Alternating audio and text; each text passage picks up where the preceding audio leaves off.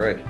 Welcome to uh, Lo-Fi Lounge, and I wanted to talk with John from uh, Kareeta about this album right here, Freeway Junkie Queen.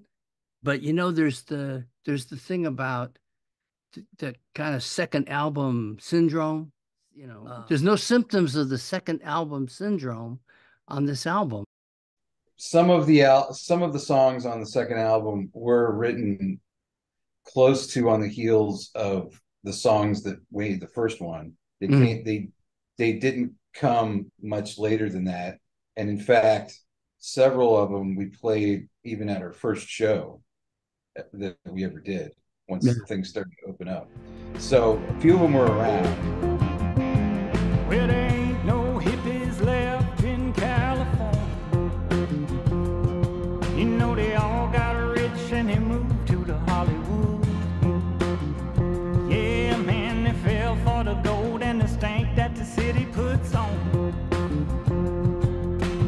Things they got to do to survive are gonna get us all killed.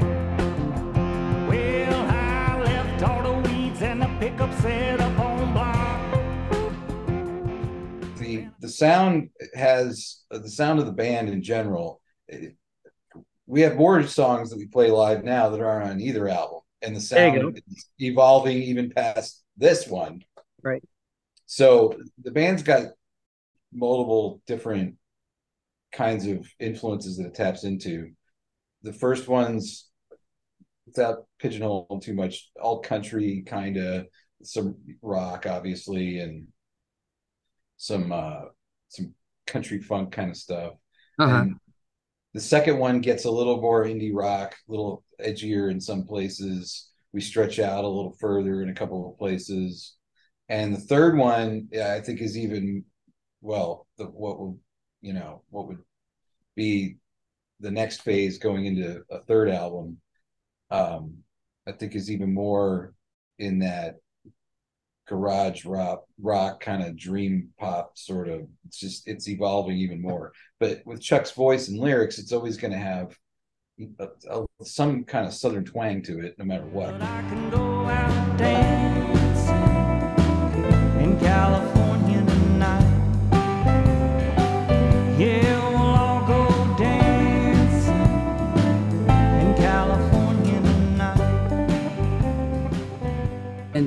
even from the first song you know uh the radio dj some of his springsteen self we had fun talking that Yeah. first time with chuck uh, it just his, his springsteen connections i go oh this is a little bit like uh you know radio nowhere to start off a you know with with a bang you know to start off on a on a, you know Yeah. a power a power note uh, and it's you know just a tiny bit of homage, but you but you do stuff with it. You have that radio static at the big beginning, and then that beat just coming in, and I think a lot of what happens with this second album is you kind of you kind of throw down the gauntlet about the sound.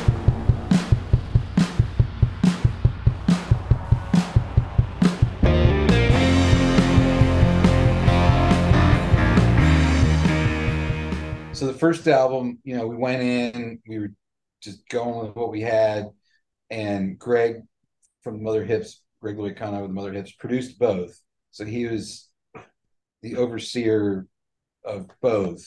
But the first one was recorded at coyote hearing in oakland and uh, chuck gonzalez engineered it and then uh, david simon baker mixed it. And that's just you know it's just different human beings. It's got its own sound and and we love it. It worked great. The second one was at uh, a studio called space camp up in northern california in the redwoods kind of in the wine country.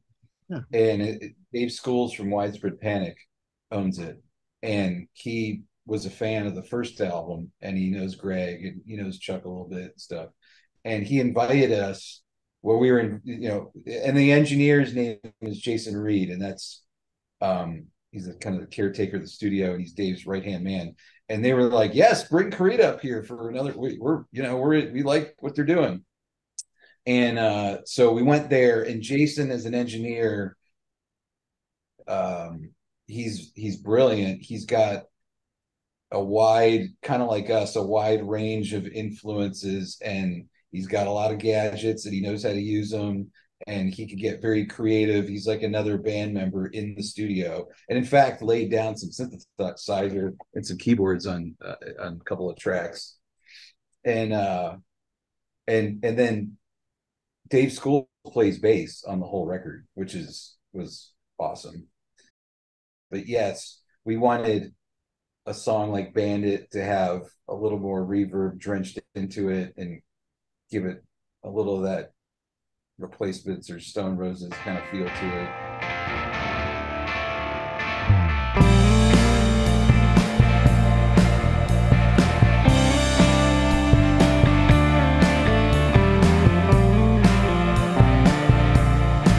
She was born on the beaches, man, just out of reach of all them tourist towns.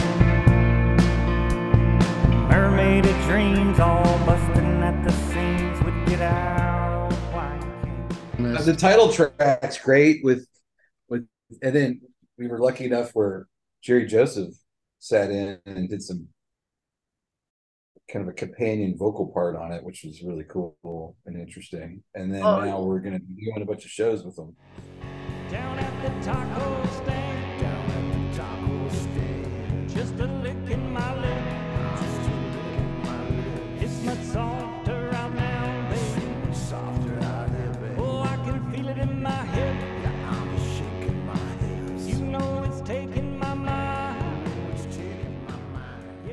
Fans of Jerry Joseph. He's a great songwriter. He's a great rock and roller. He's a great folk singer and writer as well. Mhm. And he knows Dave Schools really well.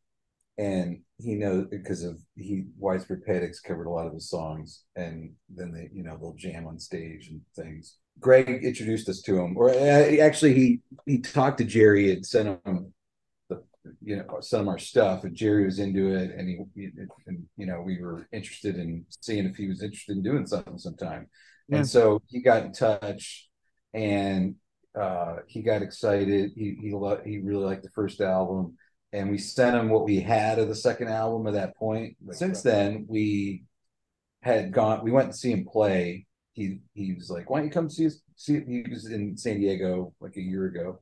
Yeah. He said, "Come come to the show." So we so three of us went down to the show, and we talked to him afterwards, and he's really cool. And you know, we're kind of it was small talk and casual conversation, but kind of starting to scheme like maybe we could do something. And what's really cool is we're going to be his band, so we're going to play, and he's going to join us, you know, on Freeway Junkie Queen, and then we're going to back him for his his show too on on all these seven shows that we have scheduled. So we're we're really excited about that. We love his songs. His last couple albums are great, and that's where a lot of the materials stemming from for the shows, plus a couple of classic of his classic tunes. Come out and, and check it out. I think they're going to see something different and interesting and unique, and and definitely with a lot of energy and spirit to it. I'm kind of like have a never ending fascination with the whole process from playing learning a song in your guitar in your living room to writing a song with your bandmates to recording it to mixing it to releasing it to playing it live to playing with other people to going on tour and all that. It, music's such a it's a thing we all love but that it's a finicky thing too what what sits right with somebody's ears it's all subjective too Yeah. what some person thinks is great some person might not get or be into or why does everybody like a certain you know why does everybody like tom petty you know Right. like and and some people it's you know they don't get it or or whatever or Right. albums you know then there's albums that land like you know yankee hotel foxtrot by wilco. Hmm warner didn't want to carry it.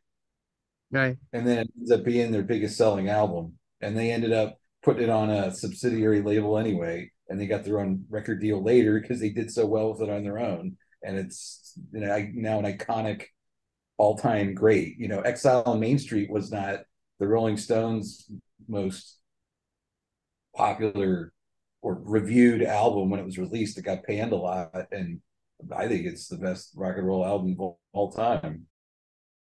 Music is it's the, a never ending journey when you really dive into it and, and try to see what people are doing and um, how they write, and it's fascinating to me. And yeah, we we just try to do our part, mixing it up.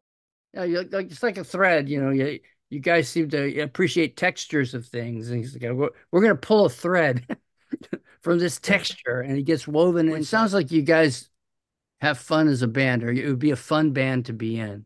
There's a lot of creativity. Definitely a lot of creativity, absolutely. You know, but we we take it very serious and have a high bar for ourselves as a musical standard. Mm-hmm. So you know, we we just want to be the best we can be, whatever whatever that is, and um, we're proud of the first two albums. I think that they've done what they're supposed to do, and I, I think a third one will add to the catalog accordingly as well.